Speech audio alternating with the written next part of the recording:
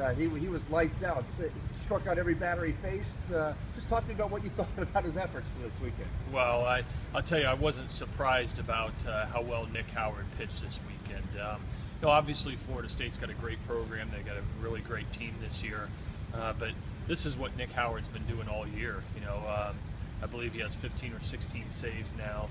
Uh, he's been as good as anybody that we've had in that in that closer role here at Virginia. And, you know, certainly this weekend, him coming into you know the situation on the road, uh, great environment, hostile place to play, and uh, you know really shutting them down twice to, to earn you know two saves or one win and one save uh, was really big for our team. And he's got a lot of talent, and he continues to do the job. What makes a good closer?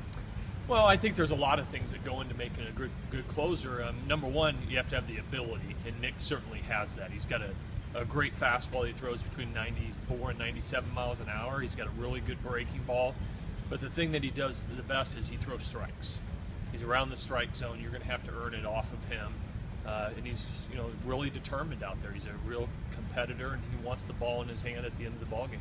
How would you feel you guys played to pull out that rubber match yesterday? You know, I thought we played uh, really well this weekend. Um, you know, I, I learned a lot about our ball club uh, this weekend. Certainly, you know, the most challenging environment that we've played in this year, and uh, probably against the best opponent. And no disrespect to anybody else, but you know, they're kind of in the same position we were, leading their division in the league, and and uh, you know, for our team to go down there and to win the series, I think is uh, really key for us, and and showed that you know we have what it takes to go into somebody else's ballpark and win a series. Is that what you learned, or did you learn anything about the toughness, the makeup of your team? You know, I, I learned a lot about the uh, the character of our team. I, I thought that it was there all along, and certainly there's been many cases this year that we've shown you know a lot of toughness and uh, you know will to win and the character it takes to to be successful. But when you do it in the manner of which we did it this weekend, you know, with you know coming back and winning the extra inning game on Friday,